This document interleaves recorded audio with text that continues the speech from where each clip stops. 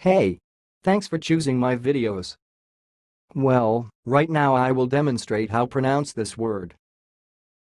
The word you are watching is sounds like peritoneopathy. Peritoneopathy. Well. Peritoneopathy. Peritoneopathy.